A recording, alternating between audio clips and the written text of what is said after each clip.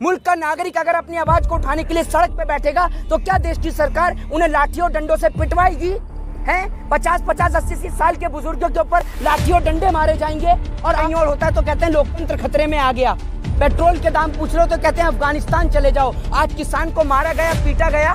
बताइए, पिटवाने वाले नेता क्या हिंदुस्तान के हो सकते हैं? ये सबसे बड़े देश के गद्दार, देश के जयचंद नेता हैं जो किसानों पे लाठीचार्ज करवा रहे हैं। इतना सा जमीर अगर आपका ज़िंदा है तो एक बार न्यूज़ चैनल को खोल के देख लीजिए। नीचे पतली सी, छोटी सी हेडिंग की तो मैं कहता नहीं हूँ। कोई चैनल नहीं दिखा रहा किसान को लेकर।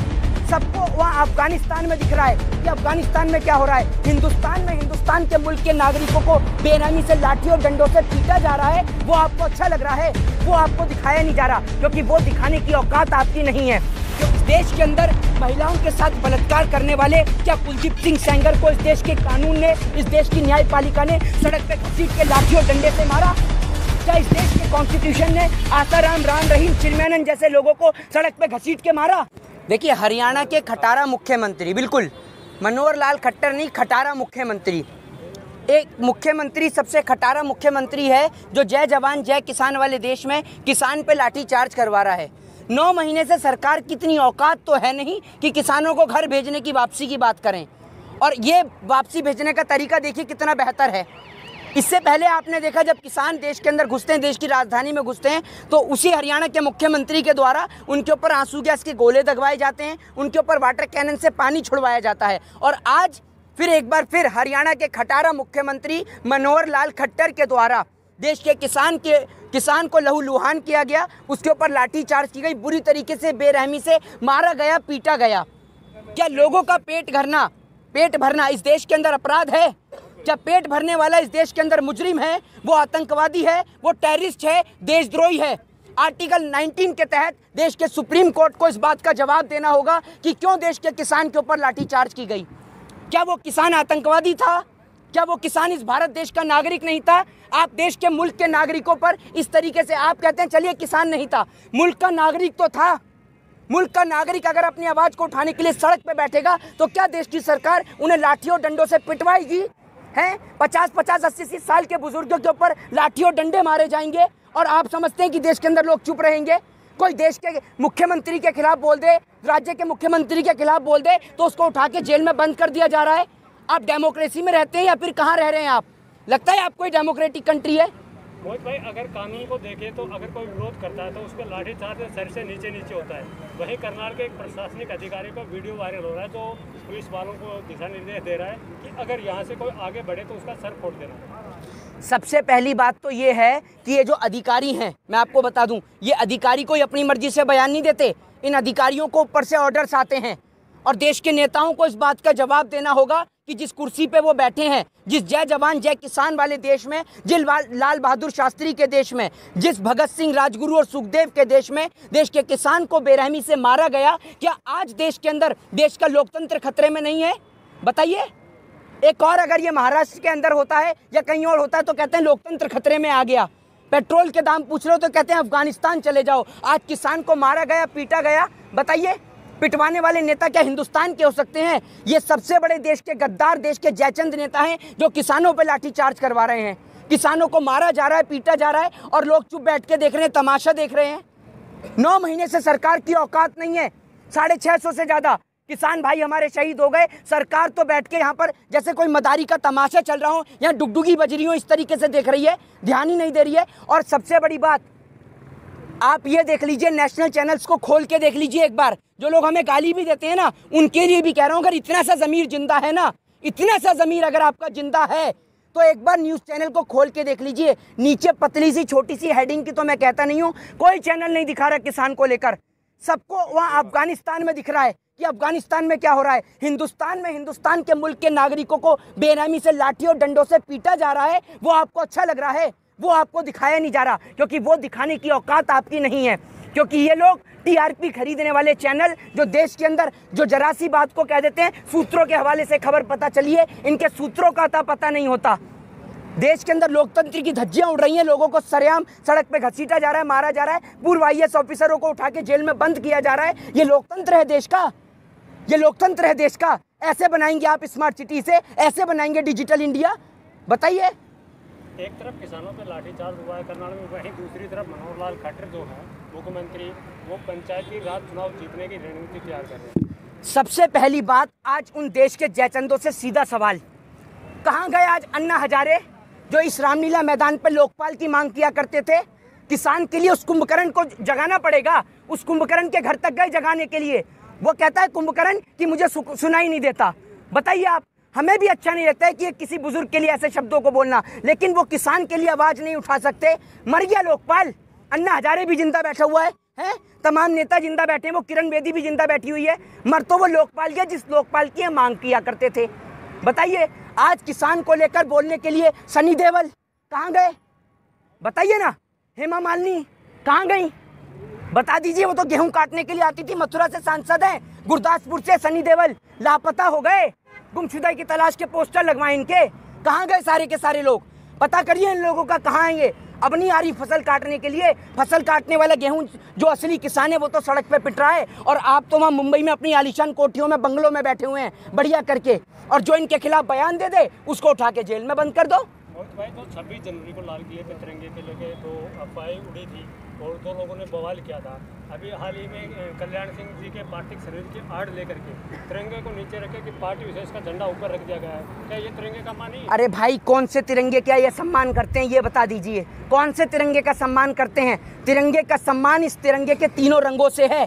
एक रंग से तिरंगे का सम्मान नहीं है, तीनों के तीनों रंग तिरंगे में एक अहम भूमिका अदा करते हैं। भारतीय जनता पार्टी के लोगों को ये नहीं पता होगा कि ये लड़ाई जो होती है, देश में जंगें जो होती हैं, इस तिरंगे के खातिर होती हैं और इन्होंने अपनी पार्टी विशेष का झंडा ऊपर रख दिया।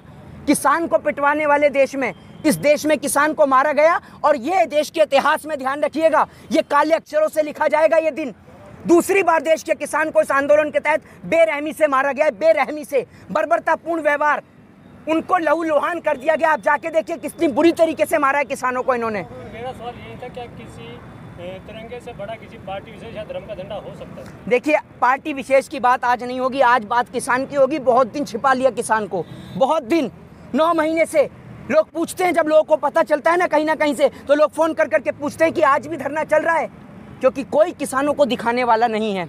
दिखाने वाले हैं अंबानी अडानियों को उद्योगपतियों को। ये चार लोग इतना देश के इतिहास में पहली बार हुआ कि कंटेनर की दीवार लगा के देश का तिरंगा झंडा लहराया गया और किसान को बेरहमी से बुरी तरीके से आज जो मारा गया है, देश के लोगों को अपने ईमान को जगाना होगा।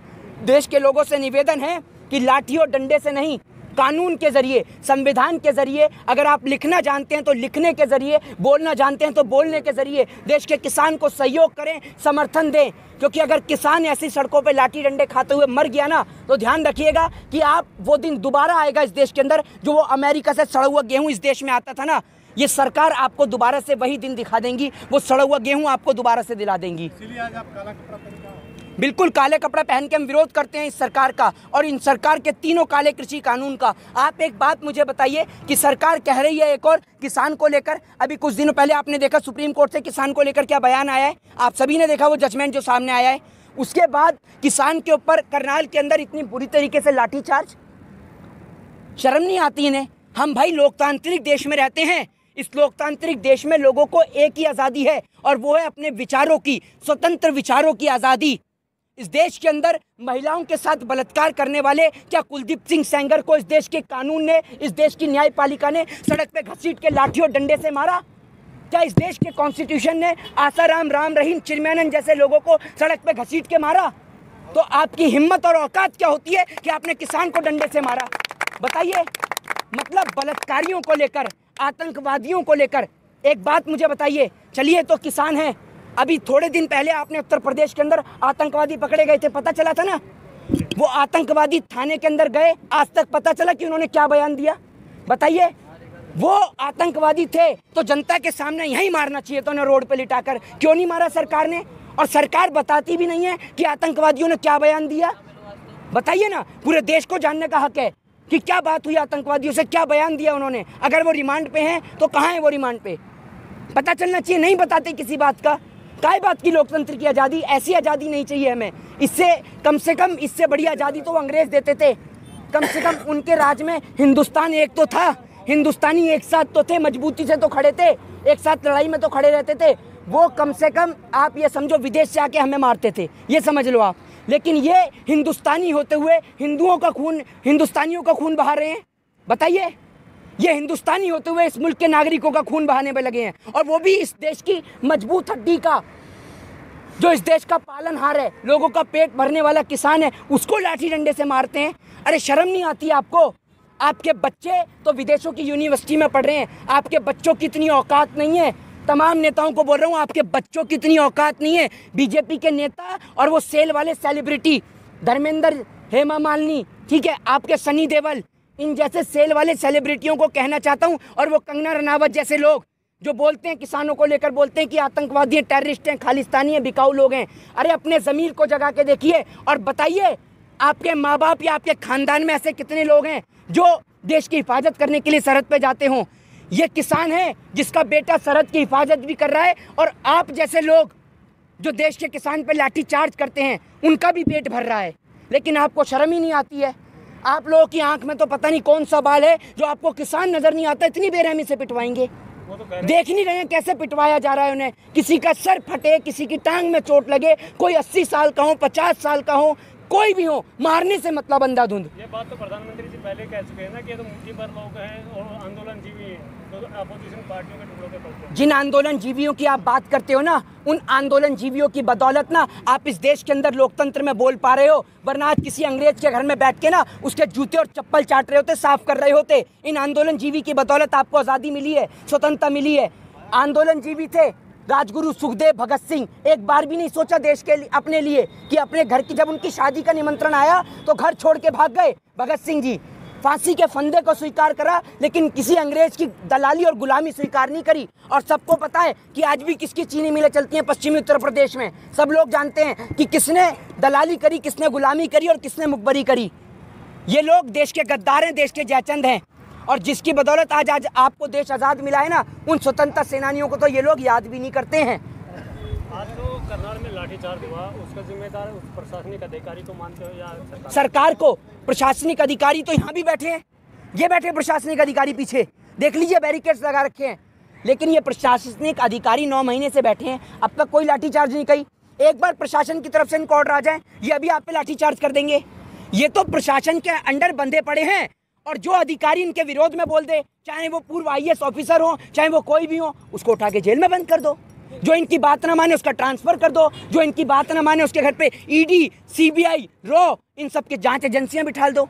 ये इनके पास सबसे बेस्ट हथियार है। अधिकारी कानून के नुमाइंदे होते हैं और वही लोग कानून को तोड़ते हुए इस प्रकार के आदेश दे रहे हैं। तो उनके आप सुनिए वो लोग ये दे रहे हैं इसके बाद ज़्यादा से ज़्यादा वीडियो वायरल हो गई लोगों ने इसके बारे में बोल दिया तो क्या होगा?